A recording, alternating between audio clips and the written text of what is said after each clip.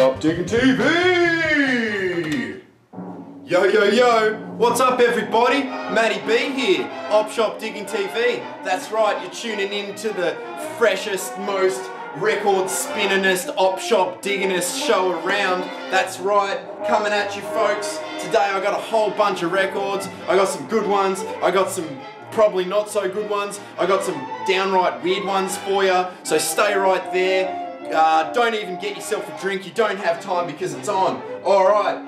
First record I got is for anyone out there that likes musicals. Uh, I used to be into musicals myself, still don't mind a bit of a uh, musical here and there, folks. But uh, we'll just bring this little ditty down a bit so I can talk at you for a second. And this is the um, original Guys and Dolls soundtrack that I picked up recently in my most recent dig. Uh, and I really like Guys and Dolls. It's a sweet musical. It's based in New York in the 1950s. Uh, and I'm not going to go too much into it. Um, but yeah, uh, in 1997, I was part of a backstage uh, show, High School Musical, Guys and Dolls. And that's where I fell in love with this. Uh, so I was super stoked to pick up this little number. Uh, I probably won't be playing it much, but uh, it's got a little bit of sentimental value. And this one is the, uh, the original American cast uh, of the Broadway show that, that uh, premiered in, in 1950.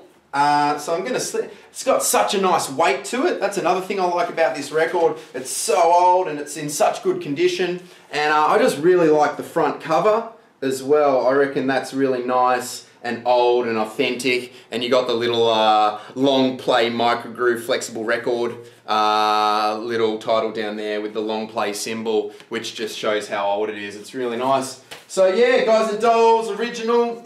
The next record I picked up. Did I mention that uh, all these records were three bucks, folks? I had to pay three bucks for each record. Uh, I took them all up to the counter, and the lady was like, uh, "That would be three dollars each," and I was like, three dollars each." So I um, happily obliged. Uh, but I've blown my budget a little bit there, folks. I'm used to spending a dollar. Anyway, moving right along, the next record I picked up, absolutely worth three bucks, is this record here. It's the Police album, Ghost in the Machine. Um, I love the Police. Um, Go Sting, You Rock. Uh, now this is the fourth album that the Police released, and this was released in 1981. And oh, it's almost like they drilled the hole not big enough because that was really tight. But apart from that, the record looks like it's in pretty good nick. Uh, so we'll just let that play. Classic police here, folks. Every little step I take. Now, for ages I wondered what's up with the front cover. Well, I Wikipedia that shit and I checked it out, and it's actually meant to be the three heads of the band members. Can you, can you, and, and I'm still yet to see it, but this is meant to be Sting in the middle here with his spiky hair, and this is uh, uh, Stewart Copeland with his fringe, and I forget this dude, but there you go. Uh, the Police, Ghost in the Machine. And another good thing about this uh, record is, well, there's lots of good things about this record, to be honest, but this last track on the A side is called Demolition Man. Sick track, but they use this uh, in the movie Demolition Man as the theme. So there you go. That's uh, a little bit of information about that. Yeah. Anyway, moving right along, I got a couple more for you. I've never heard of this guy, but I thought this looked sweet. And uh, what we do here on Op Shop Digging TV is take a few risks for a couple of bucks. So this is Tony McKenzie, Ha Chica, Ha Chica. So I'm to put this on, folks, uh, and see what we got. He looks pretty badass. He looks pretty funky. He looks like, I don't know, a bit like Eddie Murphy, I guess, in his heyday. He's got the big stunner shades and the sweet headband. So this is Tony McKenzie, Ha Chica, and I'm going to get that straight on. We've got the instrumental on one side and the vocal on the other. Um, let's see what I got for my $3. Here we go. Take it away, Mr. McKenzie. Show me what you got. Definitely uh, meant to be on 45, so let's... Sounds like some sort of funky jungle analog video game that you might have played in the 80s. Ooh, got those nice guitars coming in for you folks. Woo! Oh, oh, nice. Got those funky 80s horns. Let's see what this has to say. Absolutely nothing. We got nothing on the back.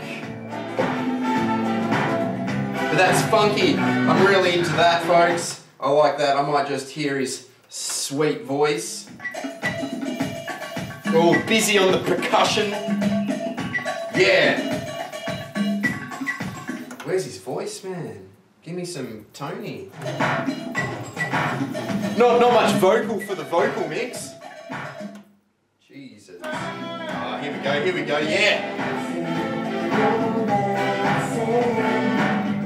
Nice. All right, Tony McKenzie, super into that. Glad I bought that for three bucks. Took a bit of a risk. Speaking about taking risks, uh, this is the biggest, oh no, I'll show you this next one. This next one. Uh, now this one is uh, for all you stalker strangler types out there. This one is, check that out, that's music to watch girls by.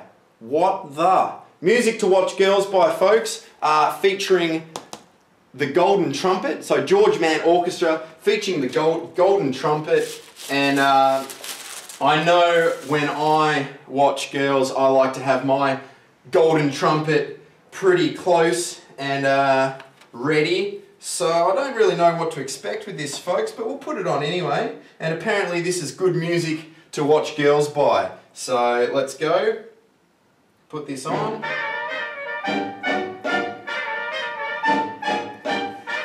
I was hoping it would be a bit more creepy, to be honest. Have a bit more sleaze. This is sort of just upbeat swing.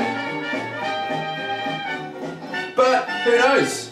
Maybe you like to sit in your sunroom, have the, the curtains slightly drawn, uh, pop on this little ditty, and just uh, watch girls go by.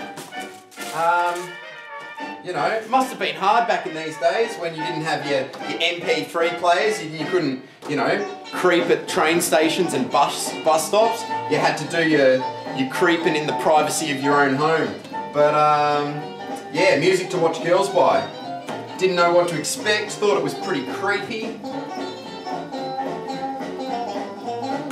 And it's actually pretty upbeat and swingy, so we might just have a little taste of something else.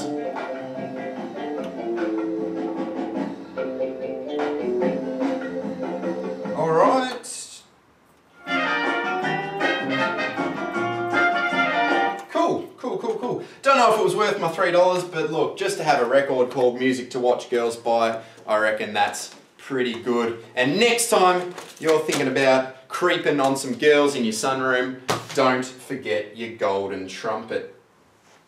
Moving right along, uh, speaking of creeps, uh, I got this guy quite quickly just because I thought he looked pretty cool. Um, I'll play it quickly. His name's Jose Luis Perales or something.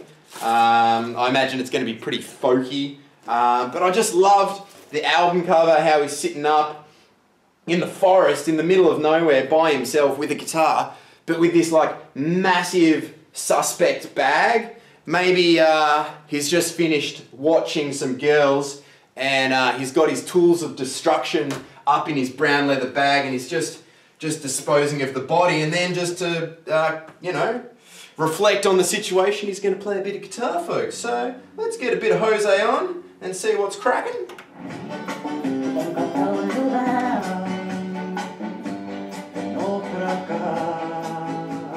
So just what I thought uh, it's got that like folky Spanishy sort of uh, sound going on folks. I wasn't really expecting much more than that. Three dollars, bit of a rip-off, but I did like the front cover, like I said. All right. Thank you very much for tuning in today, folks. Hope you like the records. Hope you like the episode. Um, I hope you like the internet. Uh, that's a pretty sweet little invention. Um, and I hope you like lots of stuff. So that's it from me. I'm Matty B. You're tuning into Op Shop Digging TV. In next, uh, until next time, stay funky. Uh, hit me up with anything at all. Um, I'm really lonely. And that's it. I'll see you next time. Matty B. Op Shop Digging TV. Peace. Peace.